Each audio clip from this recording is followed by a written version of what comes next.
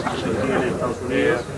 Eh, es muy apto para aterrizar en terrenos con extremadamente poca preparación, de hecho bajan sobre glaciares permanentemente y eso nos daría obviamente entonces una capacidad importantísima.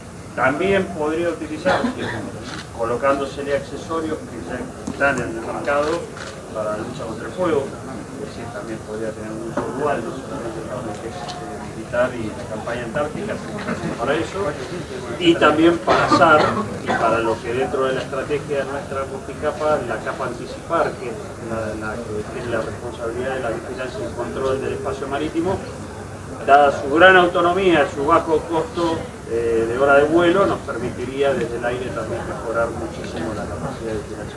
Básicamente es La compra ya está definida. no, está definida, pero bueno, dentro- está dentro del plan.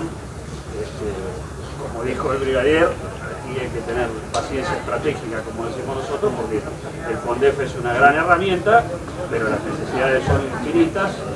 buscamos lo que nos da el FONDEF es la capacidad de programar eh, sabiendo que tenemos garantizado por ley un financiamiento a largo plazo. si me permitís, las LOAS o los contratos que se hacen para adquirir material en Estados Unidos es un proceso que no es de un día para el otro.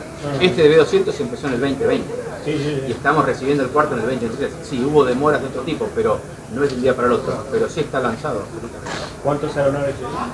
Y son las 12 previstas originalmente, eh, después hicimos, eh, perdón, las 10, después incorporamos 14, sí, 4 más, de las 14, 12 Fuerza Aérea, 2 de Armada, No, yo me refería al, No, no, no. A los no. dos inicialmente. Ah, dos no. Dos inicialmente. Gracias por mirar el video, suscríbete, dale like y estate atento a un nuevo video de Aerobar Militaria Argentina.